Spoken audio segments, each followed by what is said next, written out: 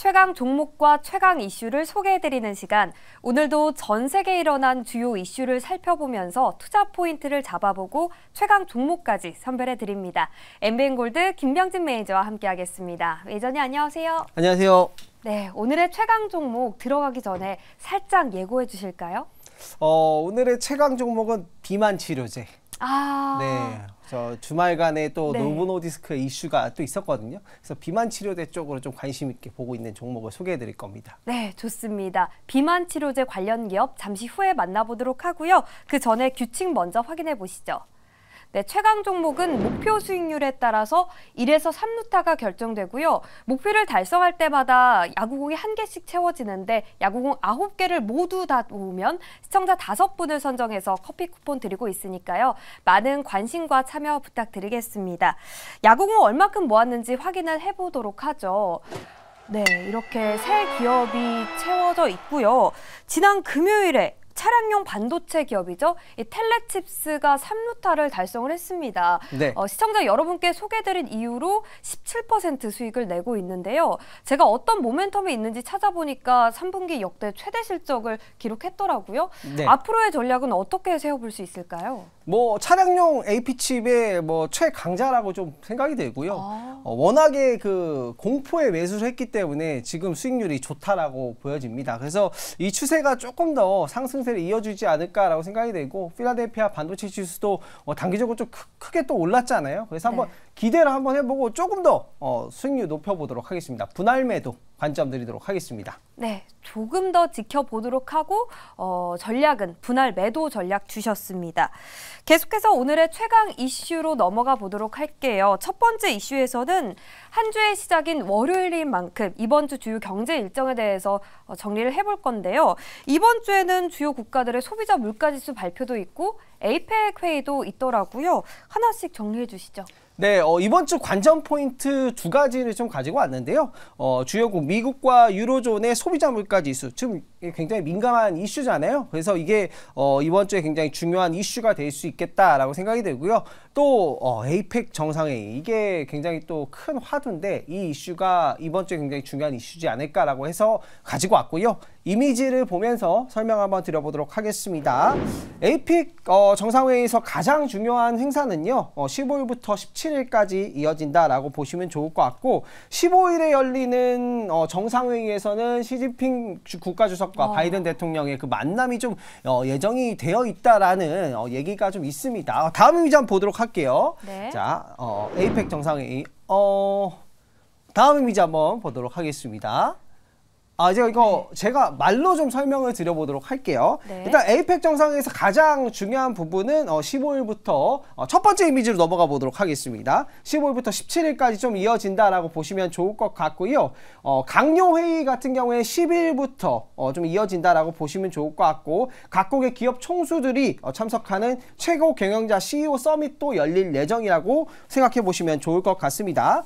소비자 물가 지수 같은 경우에는 어, 미국과 유로존이 이번 주에 발표를 하는데요. 이에 따라서 이제 어, 시장이 좀 변동성이 있지 않을까라고 생각이 들고 둘 다 이제 저녁 시간에 발표를 해요. 그렇기 때문에 어, 그 소비자 물가 지수를 발표하는 날에는 장 초반에 좀 강세를 보이다가 장 마감에는 약간 어, 약세를 보일 가능성이 좀 있거든요.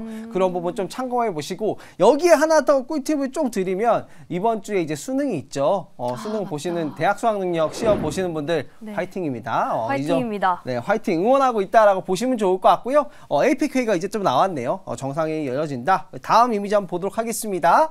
어, 다음 이미지 보면 이제 CPI 소비자 물가 지수 발표 일정이라고 보시면 좋을 것 같아요. 네. 네. 말로 음. 설명드렸으니까. 네, 맞아요.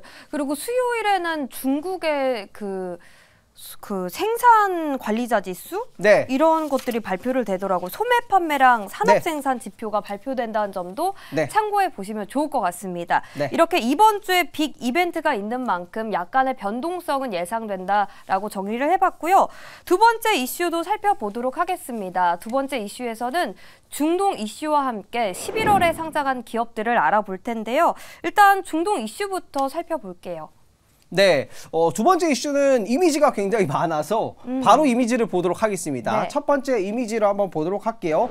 사우디와 이란, 튀르키예가 힘을 합쳐서 어, 이스라엘 전쟁을 좀 빨리 중단을 해야 된다라는 얘기를 또 밝혔어요. 이게 어, 굉장히 고마운 이슈다라고 생각이 들어요. 좀 확전을 우려를 하고 있었는데 어, 이러한 이제 공동 입장이 좀 나와서 그래도 조금 한시름 놓았다. 라고 볼 수 있을 것 같고요. 다음 이미지 한번 보도록 하겠습니다. 네. 자, 다음 이미지를 보면 이스라엘이 지금 굉장히 중요한 지리적 위치를 가지고 와. 있는데요. 한국과 연관성이 있다라고 보시면 좋아요. 그러네요. 왜냐하면 이 인텔의 CPU 공장이 이스라엘에 있어요. 사실 이제 어, 삼성과 SK 하이닉스는 이스라엘에 직접적인 생산 공장이 있진 않아서 생산 뭐 수율에 타격이 입- 입진 않겠지만 인텔 같은 경우에는 CPU 공장이 있고 거기에 이제 DDR4라든가 DDR5가 탑재가 되기 때문에 이스라엘이 만약에 이게 좀 어, 어, 계속해서 하마스와 분쟁이 좀 지속되면 오히려 반도체에 대한 그런 이제 공급량 감소 때문에 가격이 또 조금 오르는 양상을 보일 수도 있어서 이게 굉장히 좀 최대 변수로 떠올랐다라고 보시면 좋을 것 같고요. 네. 어, DDR4나 뭐 D램 쪽에서 좀 만약에 가격 변화가 어떻게 일어나는지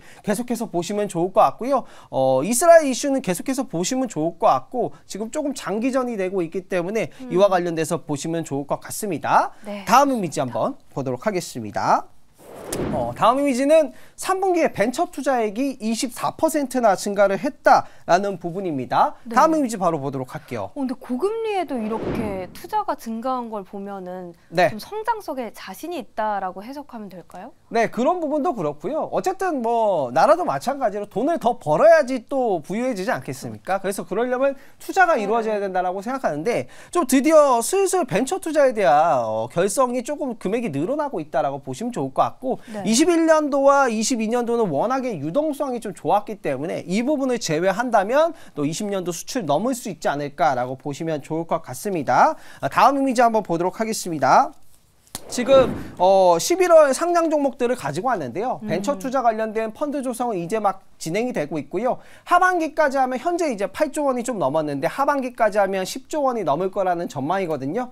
왜냐하면 이제 4분기에 벤처 투자 이제 펀드 조성이 거의 한 40%가 돼요. 그래서 이제 벤처 관련된 기업들 좀 참고를 해보시면 좋을 것 같고 요즘에 이제 근래에 IPO 한 종목들 이슈가 많아요. 뭐 네. 어떤 종목들은 급등을 하기도 하고 어떤 뭐 종목은 급락을 급락을 하기도 하기도. 하거든요. 근데 이제 어, 지금 같이 이제 변동성 장세, 종목 장세에서는 수급이 있는 종목들을 좀 찾아 가기 마련이다라고 생각이 들어서 네.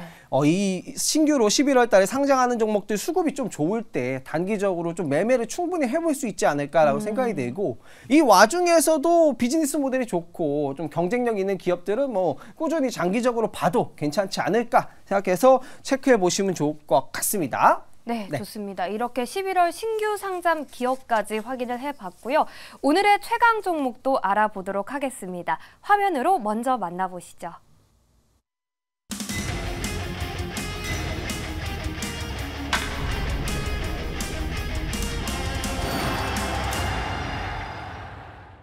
예고를 좀 해주셨는데요. 비만 치료제와 관련 있는 한미 약품 오늘은 6% 도전입니다. 투자 포인트 어떤 것들이 있는지 설명해 주시죠. 네, 어, 지난 주말에 위고비가 이게, 이게 미국의 이제 노보노, 아, 노보노디스크의 어, 비만 치료제인데 심장마비랑 뇌졸중 사망 위험도 낮춘다라는 그런 좋은 소식이 외신에서 보도가 됐어요. 아, 그래서 이번 주에 한번 비만 치료제 관련된 이슈가 좀 부각될 수가 있겠다라고 생각이 들어서 모멘텀 투자로 좀 가지고 왔다라고 보시면 좋을 것 같고 첫 번째 좋은 점은 실적이 좋아요. 일단 매출 전, 전반적으로 봤을 때 처방약이거든요. 전문 의약품인데 이 매출 비중이 거의 90%가 넘기 때문에 실적이 꾸준하게 잘 나올 가능성이 굉장히 높겠죠. 어, 그래서 실적이 안정적인 기반 하에 어, 신규 R&D 파이프라인이 굉장히 괜찮다라고 보시면 좋을 것 같고요. 비만약 그리고 종양, 항, 항암 제 그리고 희귀 질환에서 R&D 파이프라인을 가지고 있다라고 보시면 좋을 것 같고 최근에는 식약처로부터 비만 치료제 임상 3상을 승인을 받았다라고 보시면 좋을 것 같고 지금 한 환자 모집을 하고 있다라고 보시면 좋을 것 같아요. 그래서 기존에 이제 처방의약품 매출과 수익성이 안정적인 상황에서 신규 약품들을 R&D를 하고 있기 때문에 충분히 모멘텀이 될 수 있다라고 생각이 되고 단점으로 좀 꼽자면 네. 덩치가 이게 좀 시집가총액이 좀 큰 종목이라서 저는 이제 2루타를 목표로 하고 있어요. 좀 엉덩이가 무겁게 움직이는군요. 그렇죠. 장점은 크게 이제 하락할 위험이 낮다인데 자, 단점은 이게 좀 엉덩이가 무겁기 음. 때문에 어, 목표 수익률을 좀 낮게 대신 안정성이 있는 기업으로 좀 평- 평가를 해볼 수 있을 것 같습니다. 네, 차트를 좋습니다. 보면서 한번 가격 전략 한번 해보도록 하겠습니다. 네. 자, 차트를 보면요, 어, 계속해서 박스권 흐름을 그리고 있어요. 뭐, 기본적으로 펀더멘탈이 좀 되기 때문에 대응이 좀 수월하지 않을까 생각하고요. 매수가는 일단 시초가로 잡아보도록 하겠습니다. 그리고 목표가는 32만원, 전고점 라인을 좀 어, 잡아보도록 하고요. 어, 1차 목표가라고 생각해 주시면 좋을 것 같고, 손절가는 25만 8천원으로 잡고 도전해 보도록 하겠습니다. 네, 요즘 같은 시장에 어울리지 않는 기업이 아니었나 싶습니다. 안정적인 실적을 바탕으로 또 미국에서 미고비에 대한 좋은 호재도 전해져서 더욱더 기대가 됩니다. 6, 6% 수익 도전해 보도록 하고요.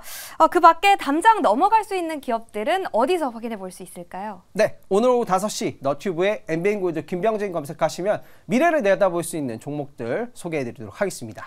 네, 좋습니다. 네, 포트에 있는 모든 종목들이 최강 종목이 되는 그날까지 저희가 함께 하겠습니다. 지금까지 최강 최강 종목이었습니다. 종목이었습니다.